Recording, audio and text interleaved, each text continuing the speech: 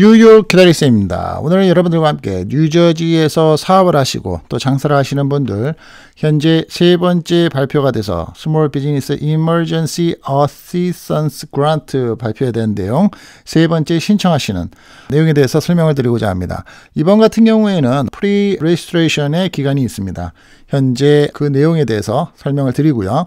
또한 그 pre-registration이 끝마치시고 나면 각 비즈니스별로 해서 신청하시는 시간, 날짜가 따로 있기 때문에 그 내용도 알려드리겠습니다. 현재 어떻게 신청을 하게 되는지 한번 설명을 드리도록 하겠습니다. 자, 뭐 대부분 비즈니스를 하시는 분들은 알고 계시겠지만 비즈니스의 name, 그 다음에 현재의 그 비즈니스 타입, 그러니까 주식회사인지 유한회사인지 그리고 개인회사인지 그리고 현재 비즈니스가 운영이 되고 있는지 언제 설립이 됐는지 tax ID number 그리고 어, 만약에 W2 form을 작성하시는 분들은 W2 form을 보고하고 있는 직원이 몇 명인지 그리고 현재의 2019년도나 2018년도에 어, revenue 어, annual report에서 revenue가 얼마가 되고 있는지 그 내용에 대해서 근본적으로 물어보는 어, 그러한 내용들이 되고 있습니다. 자, pre-registration은 오픈 날짜가 Monday, 어, October 19일부터 10월 19일서부터 9시부터 오픈이 돼 있고요. 마감은 10월 27일 5시까지 마감이 됩니다. 아, 이번 같은 경우에는 말씀드린 대로 pre-registration을 꼭 하셔야지만 되고요. 그 다음에 pre-registration이 끝나신 다음에 지금 중간에 보시면 레스토랑, food service나 drinking place 같은 비즈니스이신 분들은 10월 29일 아침 9시 목요일 날 어, 접수가 시작이 되고요. 그 다음에 어, 5명 이하의 에, 직원을 가지고 계시고 W2 폼을 발행을 하시거나 아니면은 개인 사업자이신 분들은 아침 9시 10월 30일 금요일이죠. 어, 그때에 접수를 하게 됩니다. 마찬가지로 비슷한 내용이지만 5명 이상의 직원을 W2 발행하시는 분들은 11월 2일 먼데이 아침 9시에 예, 그리고 접수가 됩니다. 어플리케이션은 밑에 지금 보시는 것처럼 하단에 cv.business.njgov에서 어, 접수를 하게 됩니다. 자, 그러면 이번에 같은 경우에 굉장히 중요하게 말씀드린 것처럼 pre-registration이라는 게 있는데요. phase 3 grant pre-registration이 있습니다. 자, 링크를 들어가시게 되면 유저네임과 패스워드를 가입을 하시게 돼 있고요. 기존에 가입하셨던 분들은 중복하셔서 하실 필요 없고요. 안 하셨던 분들은 유저네임과 패스워드를 작성을 하셔야지만 됩니다. 예, 꼭 하셔야지만 되는 거죠. 자, 그 다음에 이메일 주소, 그 다음에 username과 패스워드 다시 한번 confirm을 하시고 보내시게 되면 register라는 단추를 누르시게 되면 이메일을 받으시게 됩니다. 네, 이메일을 받으시게 되면 아, 그 내용에서 바로 confirm을 눌러 주셔야지만 되고요. confirm에 대한 이메일에 대한 확인이 됐다라는 메일을 꼭 받으셔야지만 됩니다. 만약에 이제 이렇게 들어가시게 되면 profile이라는 부분을 보실 수 있고요. 마찬가지로 여기에 이메일 주소와 타이틀, phone number, 그다음에 성과 이름 작성을 해 주시고 업데이트를 해 주시기를 꼭 부탁을 드리고요. 다음에는 이제 들어가시게 되면 음, 보시는 것처럼 오른쪽에 핑크 색깔과 블루 색깔이 있죠. 보시면 꼭 확인하셔야 되는 게 Your email requires confirmation이 있습니다. 이 confirm email 단추를 꼭 누르셔야지만 됩니다. 그래서 말씀드린 것처럼 이메일을 받으시고 나서 거기에서 이 confirm을 했다라는 단추를 꼭 눌러 주셔야지만 이 다음번에 log를 하셨을 때 이 블루 색깔이 없어지게 됩니다.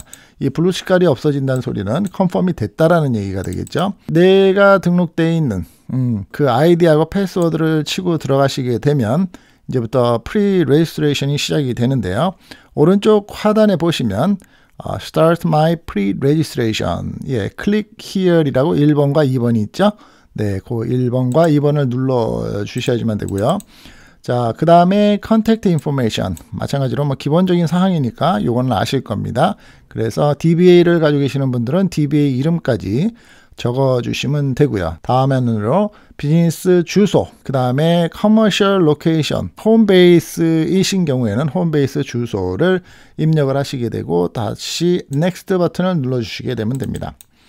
자, 그 다음 화면을 보시면 이제 organization uh, detail 그래서 현재의 비즈니스가 언제 설립이 되었는지 그리고 오늘 날짜 기준으로 운영을 하고 있는지 사업체의 소유권 구조는 어떻게 되는지 이제 주식회사인 경우죠. 10% 이상의 소유권을 가진 소유주인 경우에는 기재를 해야지만 되고요. 다음으로 묻는 경우에는 비즈니스의 사업체의 EIN number, 그러니까 이제 tax ID number가 되고요. 사업체의 고유 식별 번호 EIN, 그러니까 말씀드린 대로 Employer Identification Number 그거를 넣어 주시게 되면 되고요. 다음에 질문하는 게 이제 귀하의 업체는 Schedule C 또는 E에 따라서 세금을 신고합니까? 자, 이 내용은 세금 보고를 2019년도, 18년도에 하신 분들은 그 내용의 컬럼에 보시면 작성이 되어 있는 내용을 보실 수 있습니다. 그러한 경우에는 사회보장번호, Social Security number를 입력을 하라고 되어 있습니다. 귀하의 업체는 WR30를 신고합니까? 이 WR30는 회사에서 아까 말씀드린 대로 W2 폼을 발행을 하시는 회사인 경우에는 WR30를 신고를 하고 있으십니다. 그렇기 때문에 신고를 합니다라고 작성을 하시면 되고요. 그 내용에 대해서 음, 쭉 적어 주시고요. 2020년도 2020년도 1분기 또는 2020년 2분기에 WR30 신고서에 신고된 풀타임 종업원 수 그러니까 2020년도에 최근에 신고된 종업원 수를 작성을 해 주시게 되면 됩니다. 자, 이제 next 버튼을 눌러 주시면요. 다음 화면에 현재의 비즈니스 tax return을 뉴저지에 언제 보고한 걸로 어, 서류나 이 내용을 넣겠느냐. 대부분 뭐 2019년도를 선택하시겠죠. 2019년도 선택을 해주시고 next 버튼 눌러주시면 됩니다. 자, 그 다음에 현재의 비즈니스 스타일 중에서 어, 소수 민족 사업자냐, 아니면 여성 사업자냐, 퇴역 군인 사업자냐, 그리고 장애인 사업자냐, 아니면은 나는 이런 거에 대해서 밝히고 싶지 않다. 뭐 사실 이런 것에 대해서 밝히고 싶지 않다에 클릭을 하셔도 다섯 번째입니다. 음, 관계가 없습니다. 다음으로는 이제 next 버튼을 눌러주시면요. 상당히 중요한 부분인데 NAICS 코드. 네, 이거는 이제 비즈니스 업종을 밝히는 거기 때문에 여기를 클릭하셔서 내가 현재 비즈니스의 업종이 어떤 업종인지 음식점인 경우에는 NAICS 코드가 722로 시작을 하고요. 영세 사업자인 경우에는 이제 아니다라고 말씀을 하시면 되고요. 또 이하 또는 어, NJWR30를 신고하지 않은 업체 이에 대한 부분, 소기업의 풀타임 W2 폼의 종업원 수가 6명인 업체, 이런 걸 잘 따지셔가지고, 그 NAICS 코드, 사실은 grant 처음이나 두 번째, 지금 세 번째도 그러고, 이 grant 신청을 하실 때 NAICS 코드를 다 알고 계실 거예요. 지금 세 번째이기 때문에. 자, 그렇기 때문에 요거 기억하셨다가 메모해 두셨다가 작성을 하셔서 next 버튼을 눌러 주시면 됩니다. business detail이 들어가게 되는데요. 이제 요 내용에 답변을 꼭 하셔야 되는데요. 사업체가 도박 또는 게임에 관련된 업종입니까? 네. 그 다음에 성인용품, 서비스 재료 또는 제품을 제공합니까?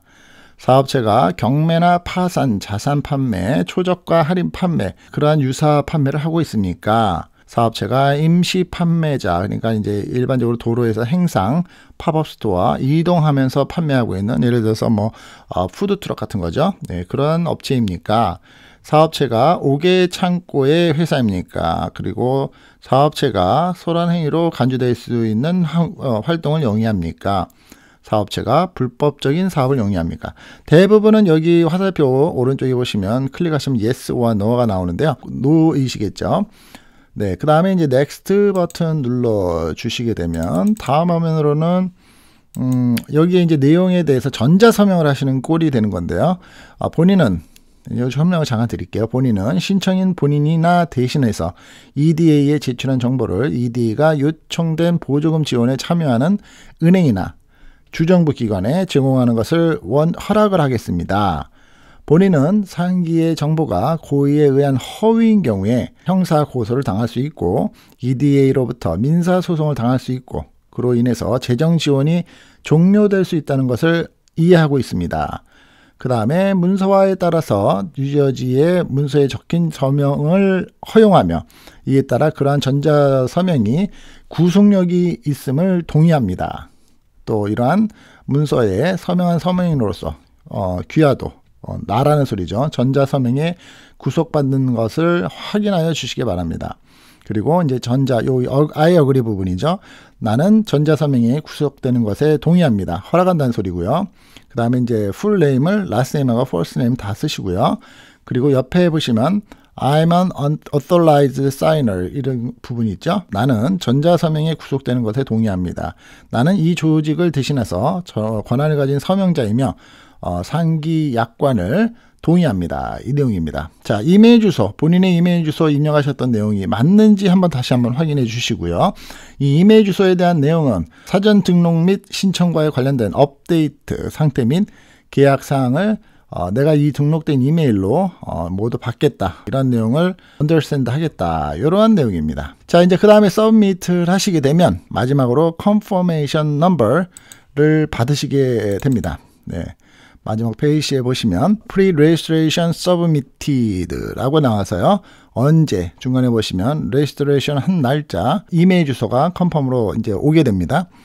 어, 두 번째에 보시면 어, 중간 정도에 보시면 말씀드린 것처럼 레스토랑은 언제쯤 이 내용에 대해서 어, 접수를 최종적으로 할 수 있는지 그 다음에 어, 5인 이하의 사업장은 언제 할 수 있는지 자 아까도 말씀드린 것처럼 레스토랑 같은 경우에는 10월 29일 아침 9시고요 그 다음에 5명 이하의 사업장은 10월 30일 아침 9시입니다 그리고 5명 이상의 사업장인 경우에는 11월 2일 아침 9시에 어, 신청을 하시면 되고요.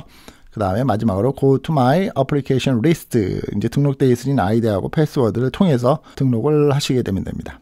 자, 요 내용을 꼭 받으신 다음에 어, 언제 어, 접수를 하는지 그 내용을 꼭 상기하시고 알아두시면 되고요. 이 pre-registration number는 처음에 MOLA로 예, 시작을 한다는 점 예, 중간에 보시면 있죠. Your pre-registration number is 그래서 MOLA로 시작한다는 점 이게 아니면 제대로 접수가 안 된 것이기 때문에 꼭 알고 계시면 좋겠습니다. 자 오늘 영상 예, 뉴저지에 살고 계시면서 비즈니스 하시고 장사와 사업을 하시는 분들 혹시나 놓치신 분들을 위해서 어, 그란트 세 번째 어, 대용에 대한 금액은 대략 5천 불서부터 몇만 불 단위로 사업장에 따라서 세금 보고한 거에 따라서 진행이 되기 때문에 꼭 진행을 하시기 위해서 준비를 하시기를 바라겠습니다. 오늘도 뉴욕 기다리쌤과 함께 끝까지 해주신 여러분들께 대단히 감사드리면서 다음 영상에서 또 찾아뵙겠습니다. 감사합니다.